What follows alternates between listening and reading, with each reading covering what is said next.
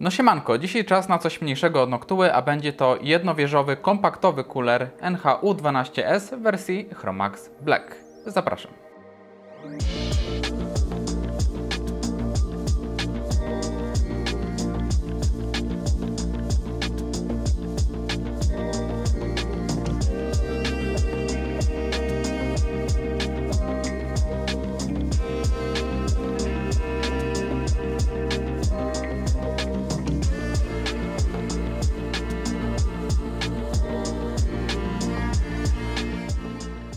Noctua jak zawsze zadbała o to, abyśmy w zestawie dostali wszystko czego nam potrzeba oraz nadto. Możemy oczywiście liczyć na zestaw montażowy SecuFirm 2 zarówno dla procesorów Intela jak i AMD.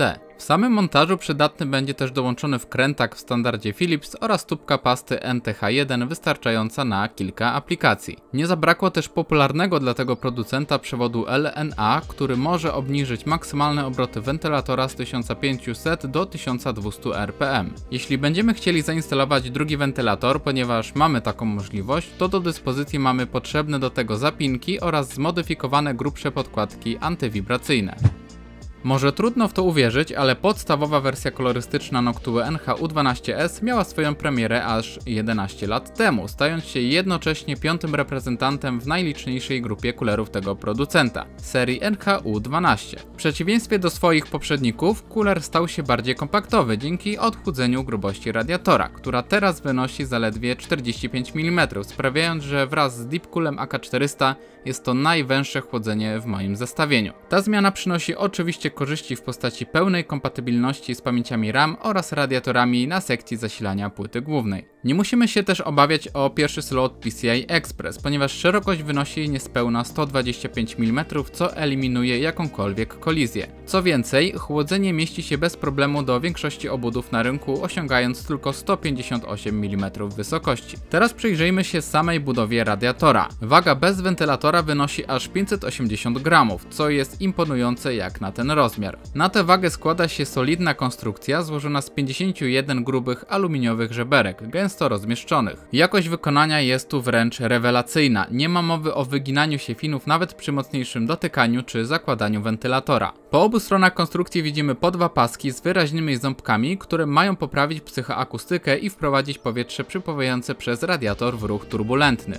Transportem ciepła do żeberek zajmuje się aż 5 ciepłowodów o średnicy 6 mm. Jak na takiego szkraba, to jest to ilość naprawdę imponująca. Co bardzo istotne, są one bezpośrednio lutowane do finów. Przypadku zwykłych wciskanych ciepłowodów występuje ryzyko poluzowania się tych elementów w wyniku różnic we współczynnikach rozszerzalności termicznej aluminium oraz miedzi. Po pewnym czasie może to prowadzić do utraty wydajności chłodzenia. Lutowanie ciepłowodów do finów skutecznie zapobiega temu zjawisku, utrzymując stabilność i efektywność chłodzenia nawet w perspektywie długoterminowej. Podstawa, zwana również cold plate'em, wykonana jest z miedzi z warstwą niklu. Poddana została procesowi polerowania oraz szlifowania. Mamy tutaj do czynienia z konweksem, czyli lekką wypukłością poprawiającą docisk do procesora. Jednak nie jest to zwykłe szlifowanie na stożek, tylko bardziej zaawansowana geometria. Chłodzenie korzysta z wentylatora NF F12, który też ma już trochę lat na karku. Posiada 7 łopatek i jak na Noctuę przystało mamy tutaj znany już stopniowy wlot powietrza na krawędzi ramy. Ułatwia on przejście z przepływu laminarnego do turbulentnego, przez co powietrze może być efektywniej zasysane, ale również sam hałas jest przyjemniejszy dla ludzkiego ucha. Po wewnętrznej części ramy obserwujemy mikrostruktury, które mają za zadanie wytworzyć warstwę turbulentną między ramą a końcówką łopatki. W dużym uproszczeniu zapobiega to cofaniu się powietrza przez prześwit. Najciekawszym rozwiązaniem jest obecność 11 łopatek stojana umieszczonych pod różnym kątem, od 31 do 37 stopni, które prostują, kierunkują i skupiają przepływ powietrza. Każda z nich posiada nacięcia, które rozkładają emisję hałasu na szersze spektrum częstotliwości. To oczywiście, aby dźwięk był przyjemniejszy dla ludzkiego ucha. Nie zabrakło też rewelacyjnego łożyska SSO2. Dodatkowo mamy możliwość instalacji drugiego wentylatora. W tym celu otrzymujemy dodatkowe zapinki oraz zmodyfikowane podkładki antywibracyjne, które są nieco grubsze, co gwarantuje większą odległość między wentylatorem a radiatorem, poprawiając w ten sposób akustykę. Dzięki systemu montażowemu SecuFirm 2 instalacja chłodzenia przebiega sprawnie i bezpiecznie. Proces instalacji zaczynamy od przygotowania backplate'u, do którego mocujemy 4 śruby w odpowiednich otworach, stabilizując je za pomocą plastikowych nakładek.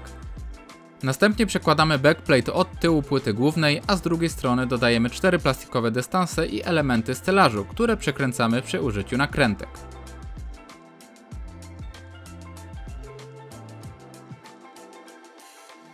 Po wykonaniu tych kroków pozostaje nam nałożenie pasty termoprzewodzącej i dokręcenie chłodzenia do wyraźnego oporu.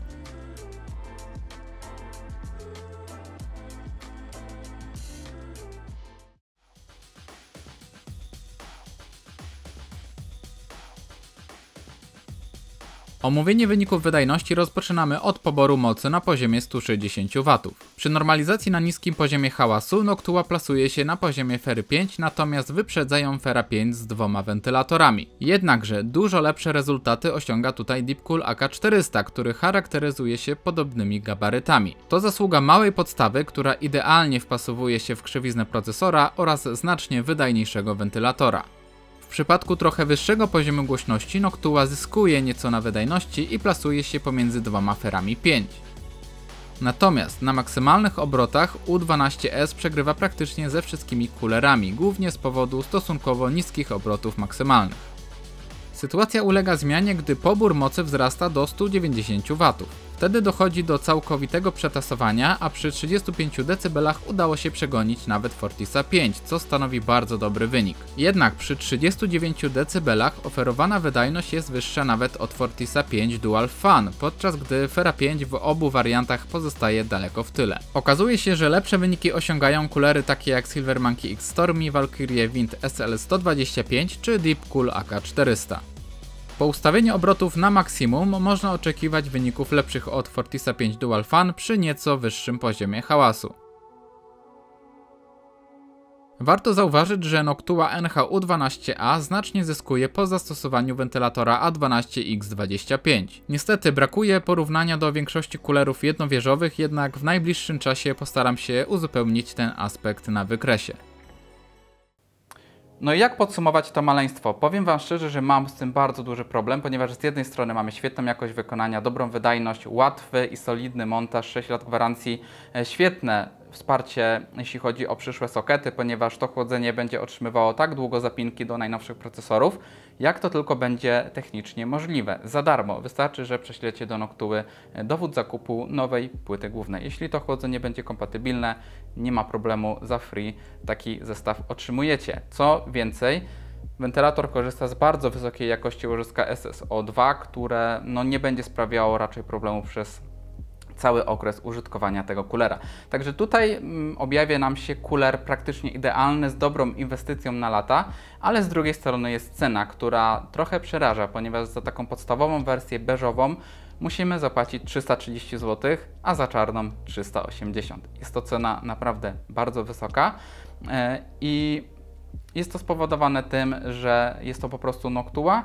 E, mamy tutaj wszystko na najwyższym poziomie jeśli chodzi o to wsparcie i tak dalej, jakość wykonania.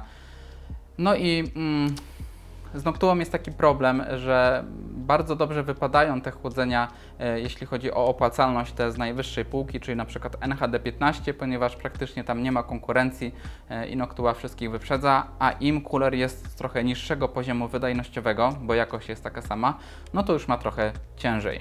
E, I o ile na podstawce LGA 1700 ten cooler wypada lepiej od Ferry 5, Fortisa 5, ale jest na przykład taki Deepcool AK400, który mocno tutaj miesza, e, ponieważ jest o połowę tańszy i zapewnia lepszą wydajność. Z czego to wynika?